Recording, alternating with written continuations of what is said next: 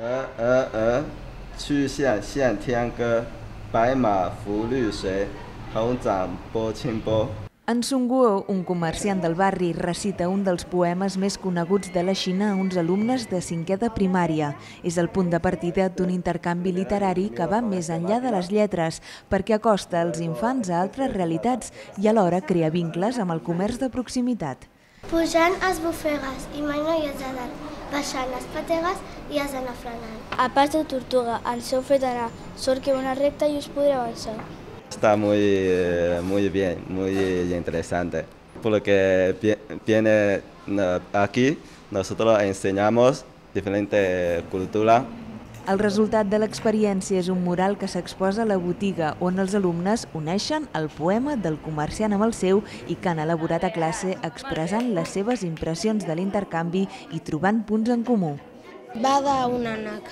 Hem descobert que moltes paraules en xino són difícils de pronunciar. Va, un va sobre lli llibres i l'altre sobre una bibliotecària. Pensem posar fotos de llibres i també com el que ens ha donat la botiga va sobre un ocell, fer un dibuix sobre un ocell i va bé, enganxar-ho. Com ells, 200 estudiants de tres centres educatius de Sant Antoni han recorregut una quarantena de comerços on han descobert la riquesa del teixit comercial que els envolta. Mm, Molts dels nens i nenes coneixien els comerços, però, per exemple, els asiàtics no hi havien entrat mai, no? I a través d'aquest projecte hi han entrat, han conegut la gent, eh?